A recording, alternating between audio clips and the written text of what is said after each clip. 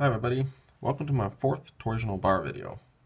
In this video I'm going to be solving this problem here of this excavator, it's drilling for some posts or something, and the shaft of the thing that's drilling has a cross section like this, and we're going to solve the shear stress on the inside, the shear stress on the outside, and we're going to find how much it's twisting per length of the bit or of the drill shaft. If you want to know something else about torsional bars, feel free to check out any of my other torsional bar videos. So let's go ahead into this. The shear stress, as you know, is defined by this equation here. So in order to solve for T1 and T2, we just need to solve this equation for part 1 variables and part 2 variables, alright? Or diameter 1 variables, diameter 2 variables. Okay. So, to find the shear stress 1 then, you need to find the internal torque in section 1 times the radius of 1 over the j of 1. Okay, so let's go and find those variables. So we're told that the applied torque is 200 meganewton times meters. Alright, that's a pretty big amount. Alright, uh, whatever. So it's basically saying that at this point it's applying that much torque. So to figure out what the internal torque is, you can just take this little piece here and do a you know a quick free body diagram. All right, we can take a look. Nothing too crazy. I'm just going to do a real quick sketch. So we know that the applied torque here is 200. All right.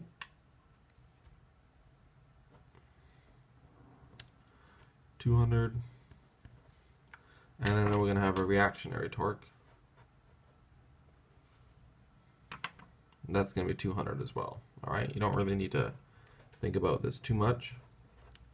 If we're applying this much, the internal forces are going to feel that much as well.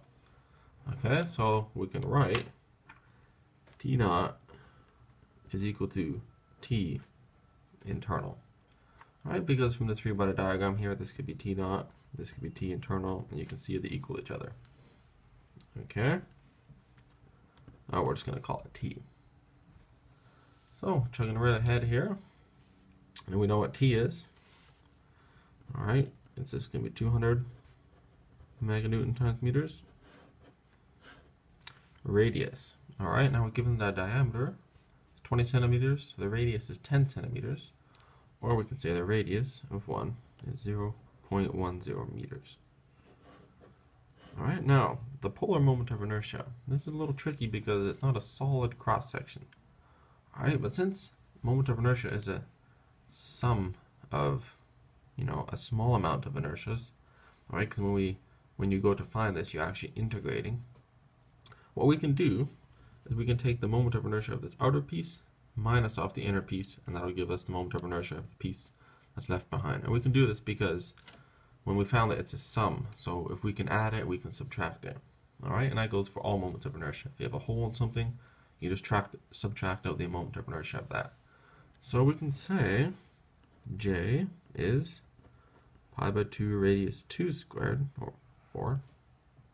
Alright, that's the outer moment of inertia. If we didn't have the piece in the middle, this will be the, the j, and we're going to minus off the inner piece. Okay, and we can simply rewrite this as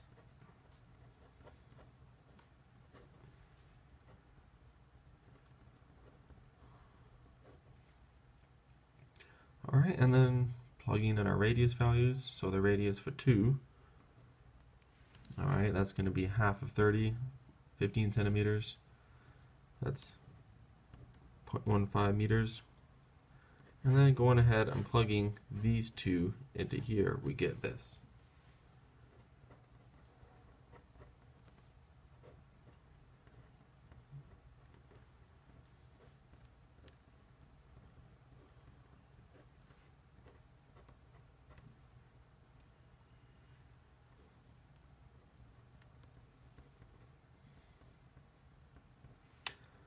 Alright, so this is our J, and it looks like we have all the ingredients we need to solve for this equation. We have T, R, and J.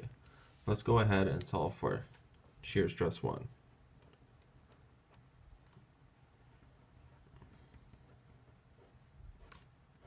Alright, so I'll put it in 10 to the 6th because we want to take it out of the meganewtons and put it in just to our regular newtons and meters so that when we find our answer, it's not some convoluted millinewton, mega newtons per millimeter or anything like that. It's just newtons and meters only.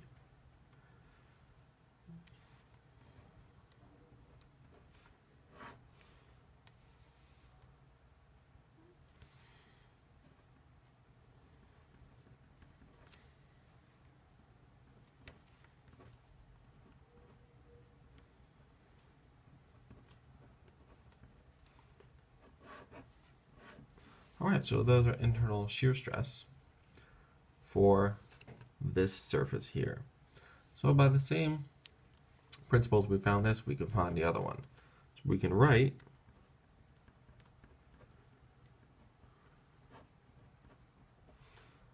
Alright, now I wrote this all in terms of 2's, but really J1 is equal to J2. So we could just call it J. And then of course the internal torque at any point along this is going to be the same as well. So that's just actually t. So going ahead and plugging in all our variables using R2, we get the following answer.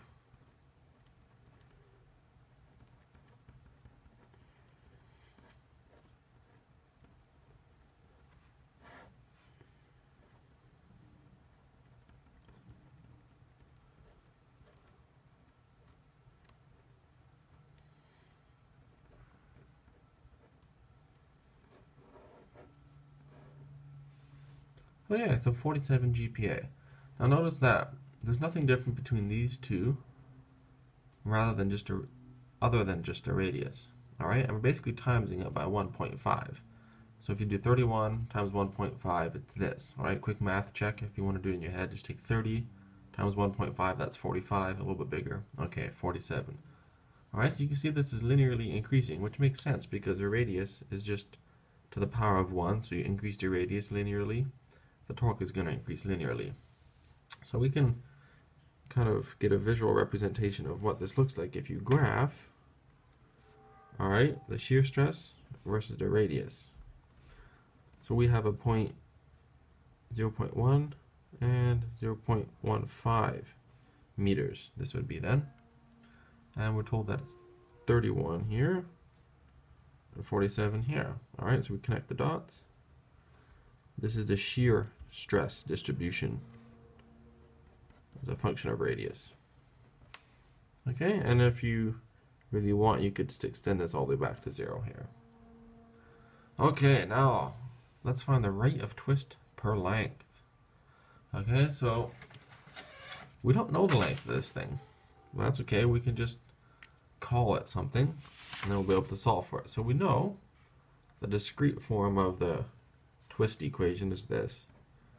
Phi is TL over GJ. Okay? So the rate of twist, let's just call that, or the rate of twist per length, let's call that theta. And this is the twist, and this is the total length. So the total twist divided by the total length is going to be the rate of twist per length. So phi by L is equal to theta, which we just said was rate of twist per length, and that's equal to t over gj. Alright, we know t, and we know g, and we know j, so we can calculate this. So let's go ahead and do that.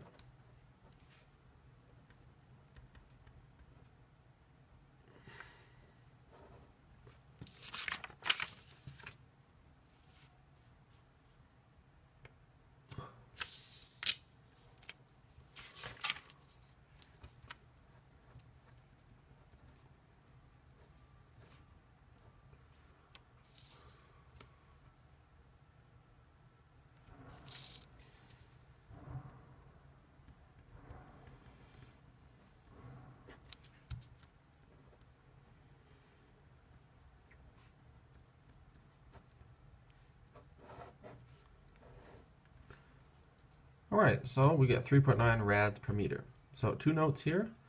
One, this is pretty big. It's quite unrealistic. If your drill bit was spinning almost 4 radians per meter, alright, you'd have a big problem. It's just like a you know, big thing of bread or, you know, elastic. But anyway, I just made this up. Another thing is the units. Alright, so it's radians per meter. And that's because this angle here is measured in radians and length is in meters, so we get radians per meter. Alright, so that's pretty well it for this question. So a quick review. To find the, the shear stress, we use TR over J. We realize that the internal stress at any point is equal because we're just applying it. So anywhere we make this cut, it's going to be equal. And then we found the moment of inertia, realizing that it's a summative, you know, measure, all right? We can just take the outer minus the inner and we'll get the value for this moment of inertia here. We went ahead, solved that, and then plugged it in for both tau 1, tau 2, solved for them. And we plotted them, all right, realizing it was linear. And that gave us a nice visual representation of the shear stress. And then we calculated the amount of twist per length by rearranging this equation here. Alright, so this brings us to the end of our fourth torsional bar video. Hope you enjoyed it, and we'll see you in my next torsional bar video.